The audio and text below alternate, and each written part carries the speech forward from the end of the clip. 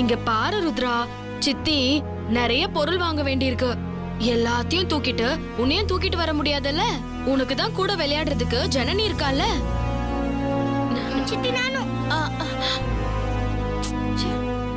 ருத்ரா வெண்ணிலா அண்ணி ஒரு அப்பாவி.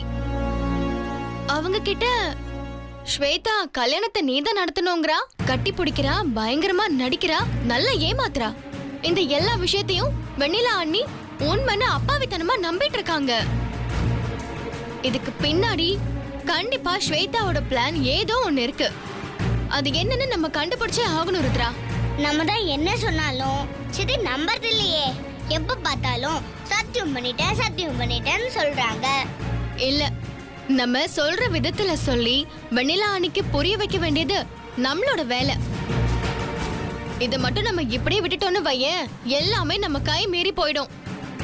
எப்படியாவது எடுத்து சொல்லி இந்த கல்யாண ஏற்பாட்டை தடுத்து நிறுத்துறது தான் இனி நம்மளோட வேலையா இருக்கணும். ஓகேவா சரி வா.